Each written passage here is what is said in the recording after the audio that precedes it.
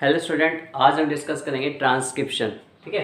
Synthesis of RNA important topic है five marks marks की अगर बात करें तो फाइव मार्क्स इसमें गेन कर सकते हैं। क्वेश्चन फाइव मार्क्स के अंदर आ सकता है, ठीक है? तो ट्रांसक्रिप्शन देखो, हम जेनेटिक मेटेरियल डीएनए पढ़ रहे थे, उसके अंदर साफ़ बात की गई थी कि डीएनए से आर बनाने से प्रोटीन सिंथेसिस करना। ठीक है? तो वो प्रोसेस है, उनके अंदर रेप्लिकेशन ट्रांसक्रिप्शन ट्रांसलेशन तो इस वजह रेप्लिकेशन के बाद मोस्ट इंपॉर्टेंट टॉपिक आता है ट्रांसक्रिप्शन सिंथेसिस ऑफ़ आरएनए ठीक है? हमें सिंथेसाइज करना है जेनेटिक मटेरियल डीएनए से, हमें सिंथेसाइज करना है आरएनए को. ठीक है? वही इसमें स्टडी करना है. थोड़ी वीडियो लंबी हो जाएगी लेकिन आप उसको पूरी ज़रूर देखना है. ठीक है? फ़र्स्ट ऑफ़ ऑल डेफिनेशन देखते हैं.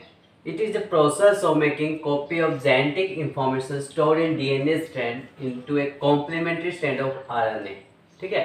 कॉम्प्लीमेंट्री को हम कॉपी स्टैंड भी बोल सकते हैं, क्योंकि यहाँ पे कॉपी होती है जो डीएनए की स्टैंड होती है ना डीएनए की जो स्टैंड होती है एंटी सेंस और सेंस स्टैंड बताई थी मैंने, ठीक है? जैसे मतलब डीएनए पास, हमारे पास क्या प्रेजेंट है? Adenine guanine cytosine thymine adenine ठीक है? ऐसे स्टैंड प्रेजेंट है, उसके अकॉर्डिंग में कोई दूसरी चेंज फॉर्मेशन बनी कॉपी ठीक है?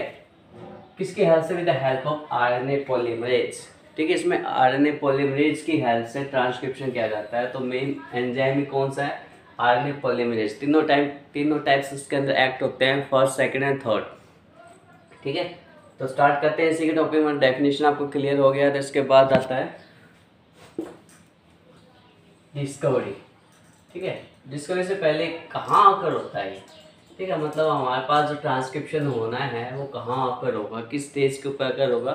तो सेल डिवीज़न जहाँ होता है, वहाँ पे जी वन और जी टू फ़ेज़ के अंदर G one and G two phase के अंदर, ठीक है? ट्रांसक्रिप्शन अकर होता है मतलब कॉपी मतलब फॉर्मेशन ऑफ़ आरएनए होता है कॉपी ऑफ़ डीएनए टेम्पलेट से फॉर्मेशन करते हैं सिंथेसिस ऑफ़ आरएनए ठीक है? अगर इसके स्टेप्स की बात करते हैं, इसके अंदर थ्री स्टेप्स इन्वॉल्व होते हैं ए परमोटर प्रोमेटर और कोडिंग स्टैंड या इसको हम बोल सकते हैं स्ट्रक्चरल जीन स्ट्रक्चरल जीन ठीक है?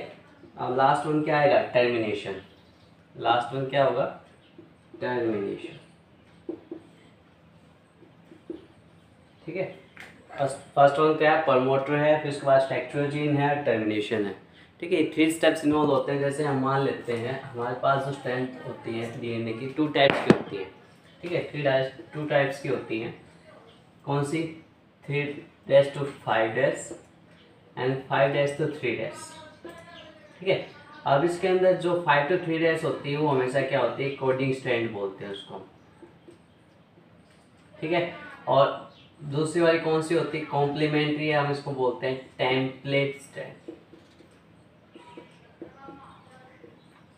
ठीक है जो हमारा प्रमोटर होता है मतलब आरएनए पॉलीमरेज होता है, वो फाइव जो फाइव से स्टार्ट होती है फाइव चैन से स्टार्ट होती है फाइव साइड से, वहाँ आके एक्ट करता है। वही से हमारे initiation of synthesis of RNA होता है देन ट्रांसफ़र होगा टेम्पलेट स्टैंड के ऊपर, ठीक है? और फिर लास्ट में हमें क्या मिलेगा? टर्मिनेशन जिसको क्या करेगा? स्टॉप करेगा।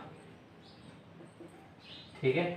और यही सब स्टेप्स हमने इस ट्रांसक्रिप्शन के अंदर पढ़ने हैं, जो डिफरेंट टाइप्स के स्टेप्स है हम बता थे एट टाइप्स के। ठीक है?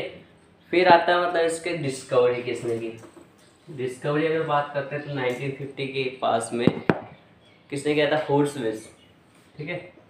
कौन थे? जी और जेड फोर्ट स्विच ठीक है? और इसके साथ है Samuel B Weiss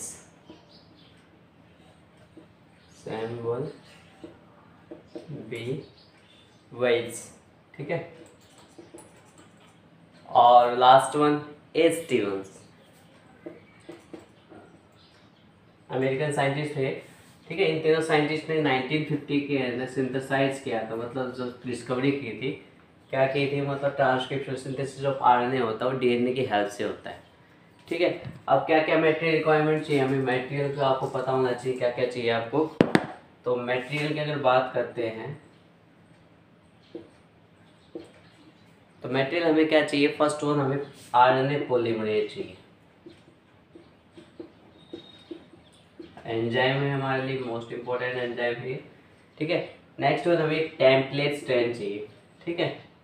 एक DNA template strand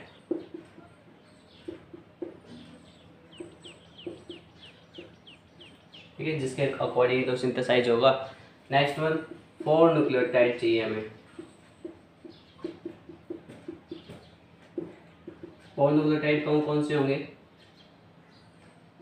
G T P U T P A T P C T P ठीक है? चाहिए हमें divalent metal ions fourth one क्या चाहिए हमें? डाईवेलेंट मेटल आयंस कौन कौन से होंगे मेटल आयंस मैग्नीशियम होगा मैग्नीज होगा। जो एक्ट करेंगे as a cofactor act as a cofactor clear ये मटेरियल्स हमें चाहिए जिसकी हेल्प से हम सिंथेसाइज करेंगे, ठीक है? डी आर एन ए को डीएनए से। अब इसके बाद आता है प्रोसीजर प्रोसीजर के अंदर जो फ़र्स्ट स्टेप है binding of RNA polymerase to DNA duplex ठीक है? डीएनए स्ट्रक्चर हमारे पास डीएनए स्ट्रक्चर के साथ हमें आरएनए पॉलीमरेज ऐड करना है।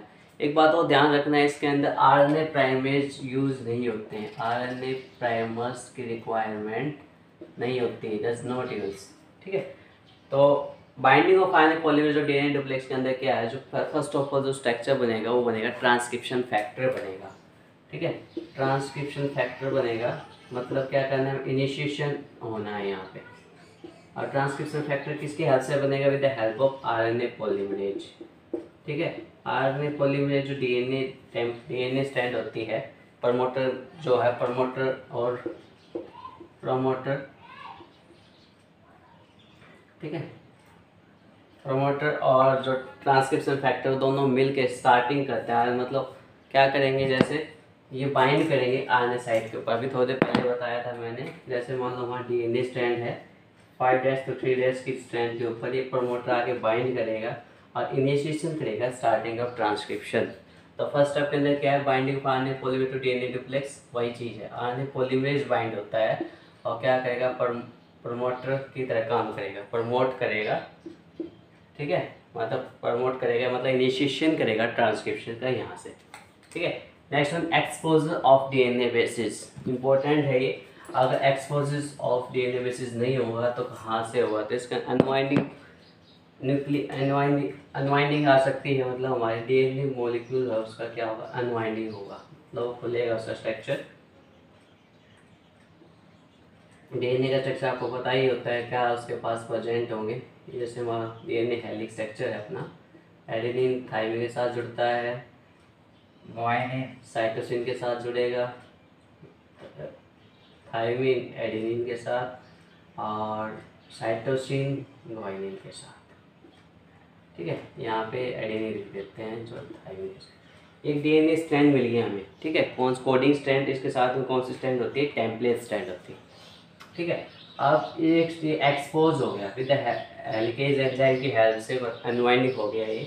ठीक है? इसको बोलते हैं एक्सपोजर ऑफ़ डीएनए बेसिस ठीक है? फिर है बेस पेयरिंग यहाँ पे बेस पेयरिंग होगा। जैसे हमारा डीएनए स्टैंड हमारी अलग हो गई यहाँ से। तो जो इसका मटेरियल है साइटोप्लाज्म से जो मटेरियल्स न्यूक्लियोटाइड्स प्रेजेंट होते हैं। वहाँ से न्यूक्लियोटाइड ऐड होंगे। ठीक है? जैसे हमारा एक के साथ क्या होता है? टी टी पी हम आने सिंथेसिस कर रहे हैं, इस वजह से यहाँ पे यू लेंगे। यू ठीक है? सी टी पी क्योंकि न्यूक्लियोटाइड हमें चाहिए। Four four types of nucleotide starting बताया था। ठीक है? ए टी पी फिर क्या आ जाएगा? सी के साथ जी टी पी फिर आएगा यू टी पी ठीक है? ये सारे सारे क्या है? न्यूक्लियोटाइड है ट्राइफॉस्फेट ठीक है? Uracil triphosphate cytosine triphosphate adenine triphosphate guanine triphosphate ठीक है? इनकी एक सीक्वेंस बनेगी और जो किसके साथ होगी? मतलब बेस पेयरिंग होगी एडिनिन की। यूरासिल के साथ ग्वाइनिन साइटोसिन के साथ with the help of hydrogen bonding ठीक है, इनकी बेस पेयरिंग हो गई। अब क्या है, जो हमारे पास ट्राइफॉस्फेट मतलब हैवी चेन है उसको हम कन्वर्ट करना है। ठीक है कन्वर्ट करना है किसमें conversion of ribonucleoside monophosphate के अंदर। जो यहाँ पे जो फॉर्मेशन हुआ किसके हाथ से होता है? With the help of phosphorylase with the help of phosphorylase enzyme की हेल्प से होता है। ठीक है? सेंस स्टैंड के ऊपर ये काम करते हैं। सेंस स्टैंड के ऊपर with the help of phosphorylase की हेल्प से पेयरिंग हो जाती है। ठीक है? अब हमें क्या करना है? प्रायो फोस्फेज एंजाइम की हेल्प से राइबोन्यूक्लियोसाइड मोनोफॉस्फेट को कन्वर्ट करना है। किसके अंदर? मतलब मोनोफॉस्फेट के अंदर। ये क्या है? यूरासिल ट्राइफॉस्फेट है। ठीक है? अब प्रायोफॉस्फेटेज एंजाइम प्रायोफॉस्फेटेज एंजाइम यहाँ हम बोल सकते हैं इसका हाइड्रेसिस होगा यहाँ पर हाई प्रायोफॉस्फेटेज एंजाइम यहाँ से टू पी आई मोलिक्यूल हमारे निकल जाएँगे प्लस में क्या निकलता है एनर्जी और हमारे पास क्या बनेगा? यू एम पी मोनोफॉस्फेट की चैन फॉर्मेशन बनेगी। ठीक है? एक ऐसी स्टैंड जिसके पास मतलब कन्वर्ट होना न्यूक्लियोटाइड का सारे यू टी पी किस सी टी पी किसमें कन्वर्ट हो जाएगा सी एम पी के अंदर। ठीक है? और जी टी पी किसमें कन्वर्ट होगा जी एम पी के अंदर। ए टी पी किसमें कन्वर्ट हो जाएगा? ए एम पी के अंदर मोनोफॉस्फेट ठीक है, सारे मोनोफॉस्फेट की चैन फॉर्मेशन होगी यहाँ पे। ठीक है, ये क्या हो गया? Conversion of ribonucleoside monophosphate clear अब इतना होने के बाद नेक्स्ट क्या होगा? Formation of R N A strength अब formation of R N stand बननी है। देखो फॉर्मेशन ऑफ़ आर स्टैंड ये हमारे डी एन डुप्लेक्स के साथ चैन बन रही थी हमारी, ठीक है? बेस पेयर प्रजेंट है।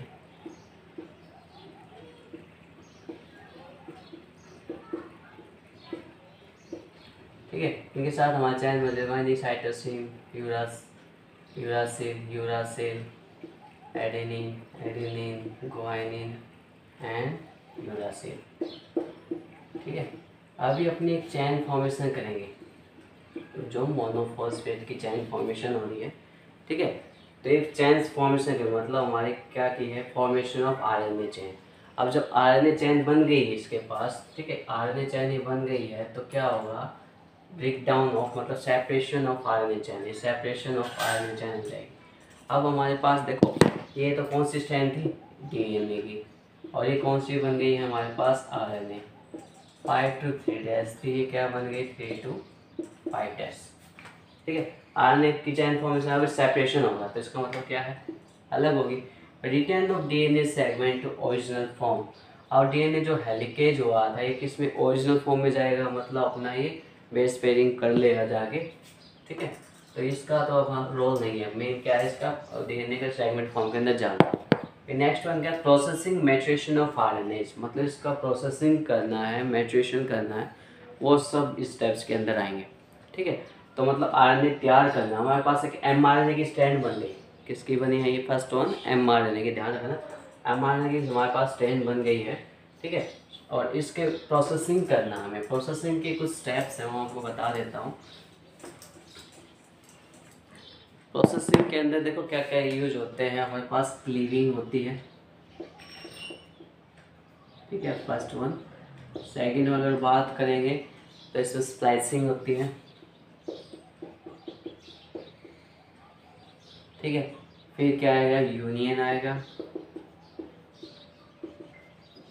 नेक्स्ट वन अगर बात करें तो फोल्डिंग होगा।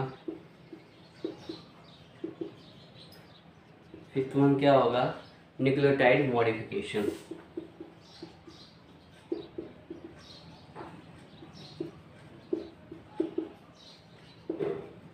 और इस सब के अंदर हेल्प कौन करेगा? ठीक है अलग अलग एंजाइम है कि मेनली कौन काम करेगा? आरएनए पॉलीमरेज तो देखो यहाँ पे क्या हो रहा है, जो क्लीविंग है क्लीविंग का मतलब क्या है, जो लंबी मतलब लॉन्ग चेन बनी है लॉन्ग स्टैंड बनी है, उसको क्लीव करना with the help of ribonuclease ribonuclease P enzyme ठीक है? राइबो न्यूक्लियस पी एंजाइम उसको मतलब जो लॉन्ग चेन होगी मतलब जो लार्ज चेन होगी, उसको ब्रेक डाउन करेगा, क्योंकि M R T R N A T R N A की स्ट्रेंथ छोटी होती है तो उनको लॉस करके मतलब क्लीव करके उनको छोटा कट करेगा। ठीक है नेक्स्ट वन आता है स्प्लाइसिंग स्प्लाइसिंग में क्या है, जो हमारा न्यूक्लियस एंजाइम है मतलब न्यूक्लियस एंजाइम टेक पार्ट करेगा, जो अनवांटेड कोडोन होंगे अनवांटेड कोडोन ठीक है, उनको क्या करेगा रिमूव करेगा। ठीक है, कौन करेगा? न्यूक्लियस एंजाइम क्लियर इस स्टेप को क्या बोलते हैं? स्प्लाइसिंग यूनियन अब मान लो कोई फ्रेगमेंट्स के अंदर टूटा हुआ है, उसको दोबारा से ऐड करेगा, वो कौन करेगा? लाइगेज एंजाइम ऐड करेगा। मतलब joining of fragments of RNA इसी हेल्प से तो प्रोसेसिंग होगी या मॉडिफिकेशन बोल, बोलेंगे हम इसमें। ठीक है नेक्स्ट वन फोल्डिंग ठीक है? Formation of helix structure formation of helix structure ठीक है? इसमें हम क्या करते हैं? आर एन मैचुएशन होता आर की जो डबल स्टैंड फॉर्मेशन होगी, इस टाइप के अंदर। फिर न्यूक्लियोटाइड मॉडिफिकेशन, जो मोनोफॉस्फेट की जो चेन थी, उससे किसमें कन्वर्ट होगी? ट्राई फॉस्फेट के अंदर with the help of R N A polymerase किसकी हेल्प से होगा? आर एन ए पोलीमरेज की हेल्प से होगा। ठीक है? अब आर एन ए पोलीमरेज की बता देता हूँ आर एन ए पोलीमरेज इसमें। आर एन ए पोलीमरेज हमारे पास